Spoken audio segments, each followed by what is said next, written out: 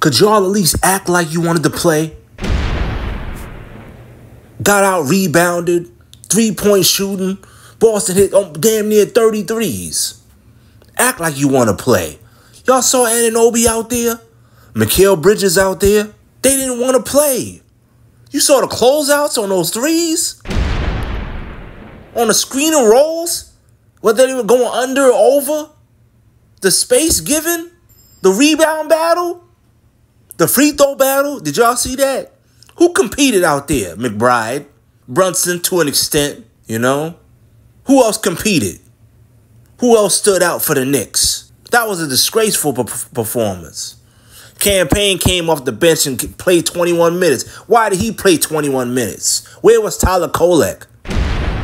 The whole point of the DiVincenzo trade, which makes it work, is that Kolek is the point guard coming off the bench. He's the one. That means McBride is the two. Why are we seeing lineups out there with McBride at the one? Or Cam Payne at the one? That's a waste of time.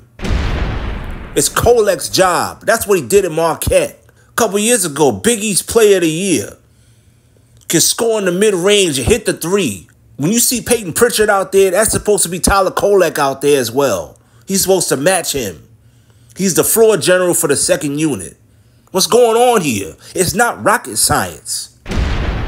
Tyler Kolek leads the second unit with McBride at the two. End of discussion.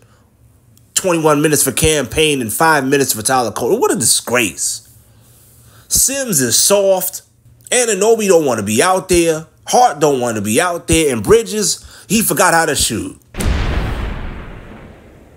Great game one. Got all this anticipation and a trash output. Making the Celtics look like the 96 Bulls.